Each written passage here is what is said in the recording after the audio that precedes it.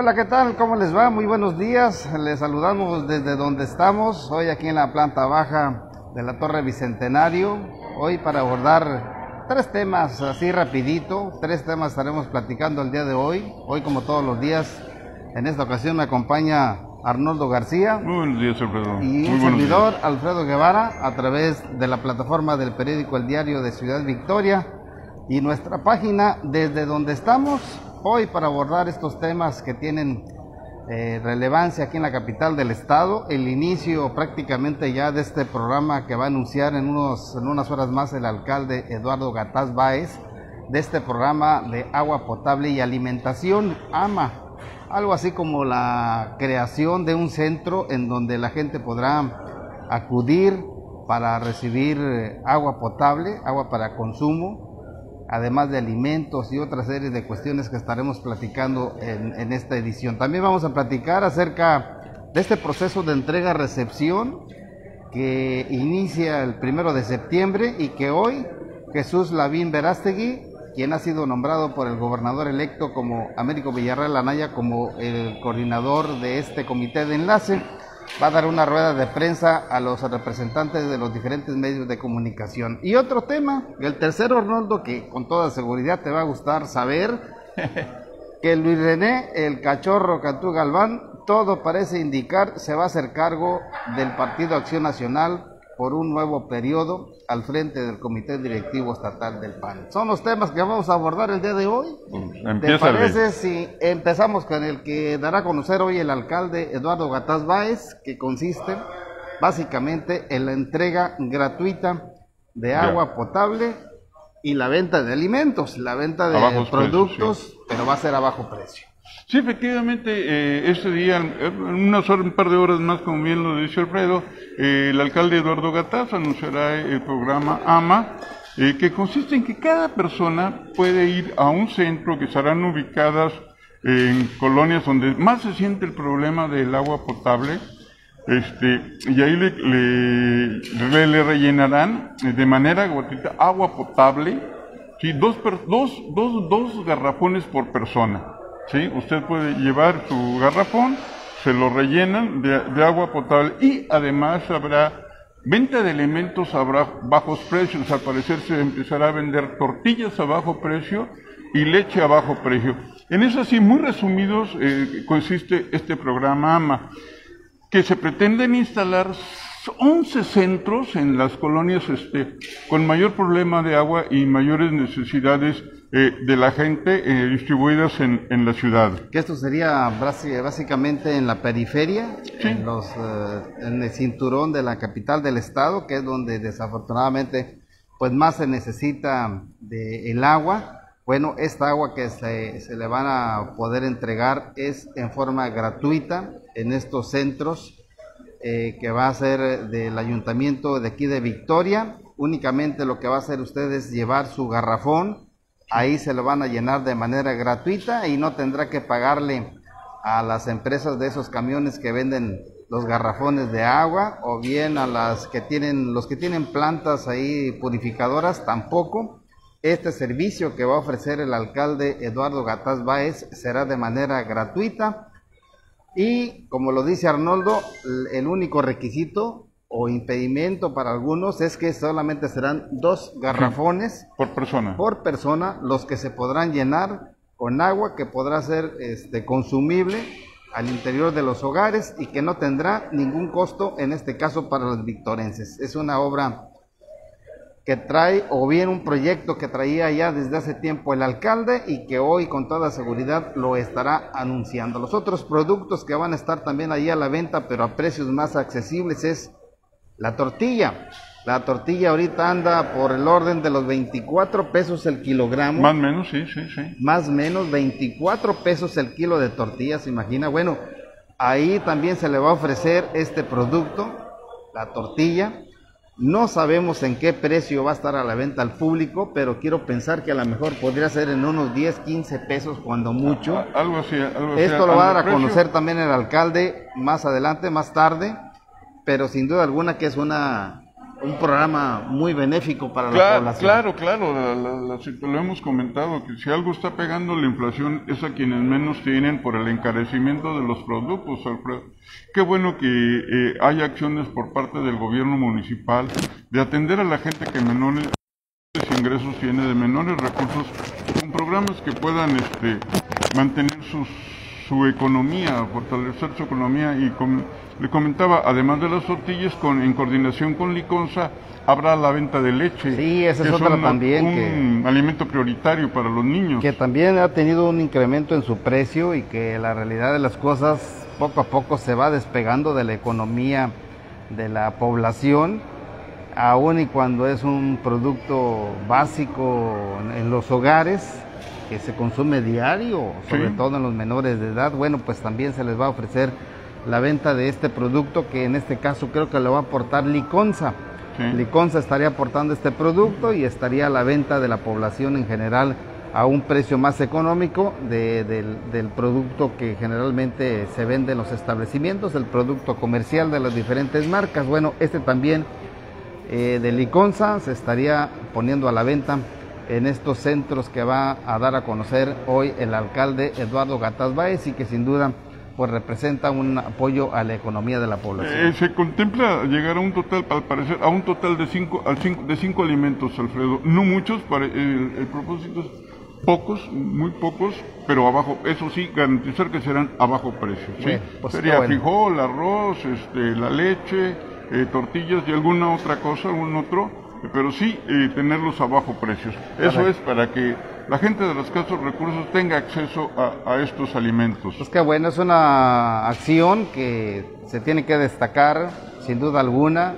A veces somos muy criticones, a veces somos muy reprobamos algunas cuestiones, pero cuando se trata de reconocer el esfuerzo que se está haciendo por mejorar las condiciones de vida o apoyar a la economía de la población, creo que también tenemos que destacar en este caso la labor que está haciendo el ayuntamiento de Eduardo Gataz Báez aquí en la capital del estado y que sin duda pues va a ser un proyecto que va a llamar la atención ojalá y llame la atención para el resto de los municipios de Tamaulipas y también vayan pensando en la apertura de este tipo de centros para que de esta manera pues se siga apoyando a la población de escasos recursos económicos. Se tiene previsto que el próximo miércoles en la colonia Tamaulipas o enfermeras, no, no recuerdo muy bien, se lleve a cabo la inauguración de, este, de, este, de, este, sí, este creo que es por ese rumbo, allá por, por el sector de, de perfeccionamiento de las enfermeras, al poniente, de, al, que es norponiente de la capital del estado, de, la, de la colonia Estrella hacia adentro,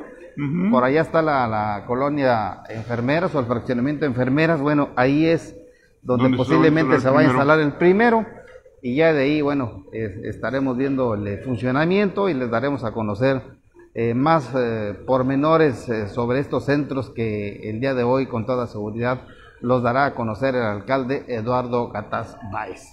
En otro orden de ideas, pues pasamos al tema del proceso de entrega-recepción. Hoy también hay una rueda de prensa que va a ofrecer Jesús Lavín Verástegui, quien es el coordinador o el representante de este comité de enlace del gobernador electo Américo Villarreal Anaya para lo que será el proceso de entrega-recepción. Hasta donde sabemos, Arnoldo, pues únicamente hay eso. Todavía no conocemos los nombres de quienes van a conformar este comité, pero bueno, esperemos que el día de hoy en esta rueda de prensa se dé a conocer por parte de Jesús Lavín, quienes lo van a acompañar en este proceso de entrega-recepción que inicia a partir del primero de septiembre. Sí, así es, no, debe de haber, mayor problema. Eh, pues, pues, hay una ley que establece qué qué es la información que se entrega, los recursos que se deben entregar, o sea, ya está muy, muy contemplado. La cuestión será que se ajusten eh, ambas partes, quien entrega y quien recibe, se ajusten a lo establecido en la ley y no deberá haber mayor problema. Sí, así es. Si, hay ajustes a la ley, bueno, se cumple con ella. A lo mejor puede haber vacíos, puede haber huecos, sí, pero también no puedes ir más allá de lo que, de lo que la ley te, contempla, ¿sí? Así es. Entonces no deberá haber mayores dificultades. Así es, pero sí queremos dejar en claro también de que el proceso entrega, eh, de entrega-recepción inicia el primero de septiembre, no antes, Eh, ah, posiblemente habrá gente que quiera ingresar antes del 1 de septiembre a las oficinas, a las dependencias del gobierno, para ir conociendo cómo está la situación, eh, o bien pedir información. No creo que se las vayan a proporcionar, no creo que vaya a haber esa disposición antes, antes del 1 de, antes del, del, del 1 de septiembre, ¿sí? Porque el proceso establece que es a partir del 1 de septiembre. Antes, olvídense de que en las dependencias los titulares les vayan a proporcionar información. Obviamente que no va a ser así, porque pudiéramos decir lo que están en su derecho. Sí, claro. No pueden proporcionar información antes del 1 de septiembre a quien sea. La ley establece que es a partir del 1 de septiembre y por lo tanto pues habría que esperar a que termine agosto para que ya desde entrando septiembre entonces es que ya en diversas dependencias hemos visto cómo se están preparando los famosos libros blancos que es donde se, contiene toda la información ya hemos visto este incluso aquí en, en, en, la ¿Torre? En, la torre eh, la entrada de, de folders de, de, de, material para preparar estos informes y ya varios eh, de dependencias están en ese proceso de recabar la información, ordenarla eh, para hacer la, la, entrega. Así es, y bueno, por parte del gobernador eh, Francisco García Cabeza de Vaca se nombró al secretario general Gerardo Peña Flores, quien será el que coordine este comité de enlace para el proceso de entrega-recepción. Y ya de ahí, pues tampoco conocemos quiénes van a formar parte, lo único que sabemos es que va a haber representantes de finanzas, de administración y de la Contraloría Estatal. Son lo que sabemos, no sabemos si van a ser los titulares, no creo que vayan a ser los titulares, van a ser los, eh, las personas de más abajo, así es, las de más abajo, y en caso de que se requiera algún tipo de intervención por parte de los secretarios, pues entonces sí, habría necesidad de mandarlos llamar para que den explicaciones sobre el tema esto lo iremos conociendo también conforme vayan avanzando los próximos días, pero por lo pronto, por parte de Américo Villarreal Anaya está eh, Jesús Lavín y por parte de García Cabeza de Vaca está Gerardo Peña. Es lo único que sabemos. Ya más adelante posiblemente les daremos a conocer los nombres de quienes van a formar parte de estos comités. Y bueno, eh, cuando creíamos que el, que el cachorro se vio solo, que tenía enfrente a, a Imelda eh, Sánchez, San Miguel. Sánchez y algunos otros aspirantes, no, pues resulta que al parecer sí va solo Alfredo en, sus aspiraciones. Pues andan por ahí todavía, habrá que decir de que Arturo Soto Alemán trae la intención ahí de, de, conseguir las firmas para registrarse y participar en este proceso interno del Partido Acción Nacional que se va a realizar en los primeros días de octubre. Sí. Hay la necesidad de firmas para poderse registrar para participar en este proceso interno. Por parte de Arturo Soto, otro de los que sabemos o sabíamos que, sabíamos que andaba por ahí buscando también recabar las firmas es José Julián Sacramento, el ex senador del Partido Acción Nacional, que tuvo la representación del gobierno del estado en, Nuevo León y que pues poco o nada se supo de él. Al principio solamente Sacramento tenía la representación del gobierno allá en Nuevo León y pues al final de cuentas terminó entregando becas. Esa e, fue la, labor y eso ya lo perdimos de vista. Bueno, pues ahora ahí anda, ahí anda este. Interesado, interesado en llegar a la dirigencia en la campaña se le vio, ¿eh? Tampoco en la campaña. Yo no sé qué méritos tiene José Julián Sacramento para andar pensando en buscar la dirigencia del Partido Acción Nacional cuando es un partido político al que en los últimos años ni siquiera lo vimos que quiere ser candidato, o sea, cambia una cosa por otra, que quiere ser candidato a Exactamente, lo que pasa es que están buscando el cargo partidista pensando en cargos políticos a futuro. Hay que recordar que viene una elección muy concurrente en el 24. Y concurrida. Y concurrida, que van a elegir presidente de México, senadores de la República, diputados federales, diputados locales y alcaldes. Cinco cargos de elección popular que van a estar en juego en la jornada del 2024 y obviamente que pues ya quieren figurar. Entonces, ¿cuál es el primer escalón? Bueno, pues estar en un cargo partidista para de ahí ser tomados en cuenta y empezar a formar parte de, los cargos. Imelda ya no, se ha dejado ver, la diputada Imelda San Miguel Sánchez. No. Eh, primero había sido que había solicitado el IGC y se había empezado a mover. Al parecer ya en los últimos días este, se ha desactivado o la desactivaron. Sí. Sí. bueno, Pero quiero pensar de que por darle la cuestión ahí de cumplir con el principio de paridad de género, a lo mejor pudiera ir como secretaria general sí, sí, del claro, próximo sí, comité directivo estatal, que insisto, pues, lo más por- probable es que vaya a ser Luis René el Cachorro Cantú Galván, el que se haga cargo del comité directivo estatal del PAN por un nuevo periodo.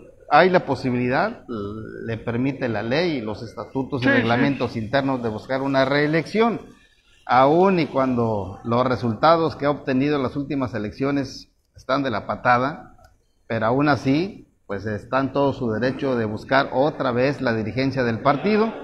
Y lo más seguro, ¿no? no, Lo más seguro. Y es los que vaya a panistas de ser- soportarlo, ¿no? Sí, no, bueno. Es que los panistas, yo no entiendo, los, los verdaderos panistas, los que nos tocó eh, conocer desde hace tiempo, Luis Tomás Banoye, en los tiempos de Leonor Sarre, que en paz descanse, de Crespo. Lidia Madero, de Alfredo Mes. Dávila Crespo, en fin, esos panistas que realmente sentían los colores, que sabían qué son los eh, estatutos internos, los La principios, los la principios, doctrina, o sea, todo ese tipo de cuestión, pues era lo que imperaba ahí al interior del Partido Acción Nacional. Hoy prácticamente son pisoteados y la verdad eh, lo que buscan eh, eh, hacer uso del partido es para mantenerse en el poder.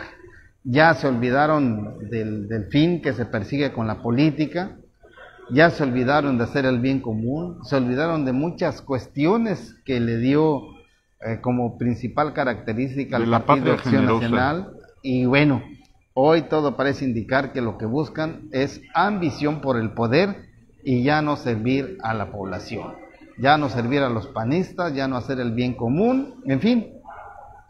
Eso es lo que se refleja con la Sí. intención de mantener o de imponer nuevamente por otro periodo a Luis René el Cacharro Cantú Galván, diría el profe, en la presidencia del Comité Directivo Estatal del PAN.